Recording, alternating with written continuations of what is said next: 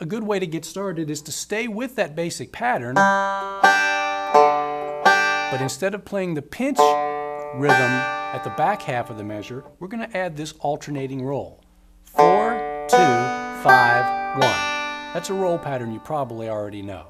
So we'll hit the third string, pinch, and then an alternating roll.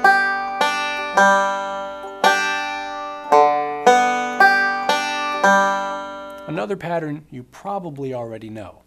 You can use that exact same pattern to play that Wreck of the Old 97 and get something that sounds a lot more like banjo picking. Something else, when we go to the C chord, you might want to play the second string with the index finger and then your pinch instead of just continuing to hit the third string.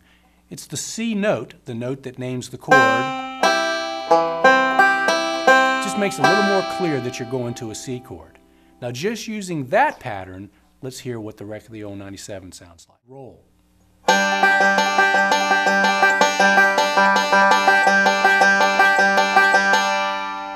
That might be, in a nutshell, the bluegrass sound for banjo.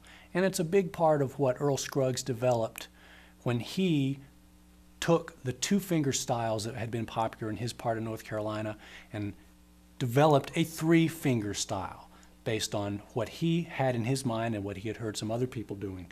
Using three fingers in a pattern that doesn't repeat from one measure to another.